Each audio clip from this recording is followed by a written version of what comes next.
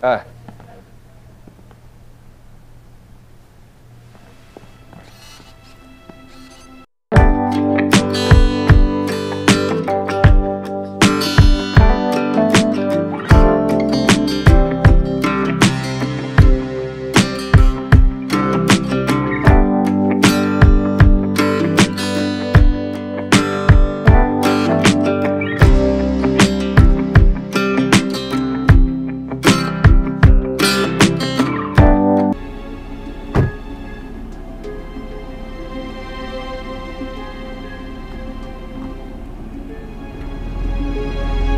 红红姐，刚才那个男的不会就是林钟硕吧？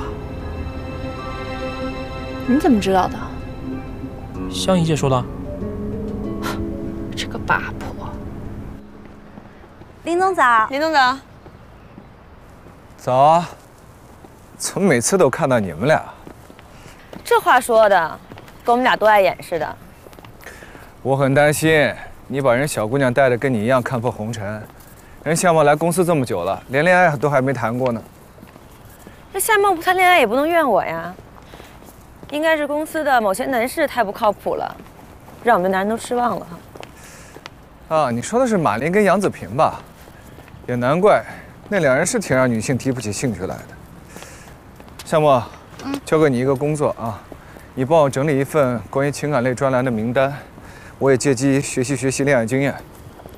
我们是有什么客户有这方面的需求吗？也不是，我有个朋友是做这种公众号的，我想研究一下这类的新媒体。好。朋友，是上次田帆报警的时候，你身边那个红颜知己。都什么年代了，还红颜知己？人是我邻居。哟，他是你邻居呢？大惊小怪的。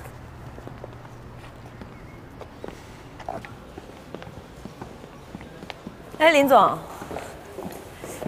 我看你不是对情感类公众号感兴趣，而是对你这个女邻居感兴趣吧？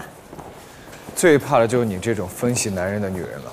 啊，不是，我就是好心提醒你，这种情感女作家可不好惹。最近不是有一个女作家卧底婚恋网站，揪出一大堆男骗子，在网上连载曝光。你小心被你这个女作家给骗了。只有愚蠢的男人才会被骗，女人也一样，影响会特别大。所以我不好意思，失陪一下。李总，什么客户？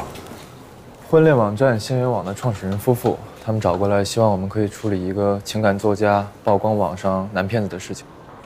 二位在里面等你呢。蒋总、贾总，这位是我们负责危机公关的副总林钟硕先生。林总，你好，林总。蒋总、贾总，经常在媒体上看到二位，没想到今天有缘认识。走，看样子我们的公关还是有效果的。您不知道，以我们夫妻的婚姻关系，为网站做宣传，每年能省不少公关费呢。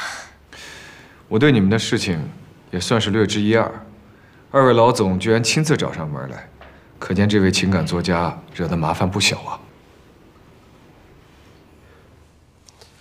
实不相瞒，我们公司在进行第一轮融资，在这个节骨眼上，我不希望把事情闹大。之前公司的事儿有一些小的公关公司来打理，但在这起事件上，我们希望找到最专业的公关团队来合作。说一下具体的情况吧。我来说吧，林总。我刚才跟二位老总已经详细了解过了。这个是作家曹萍萍的资料，她是写两性情感文章的，有一定的知名度。一年之前，这个曹萍萍在仙缘网上注册了账户，先后跟十三个男性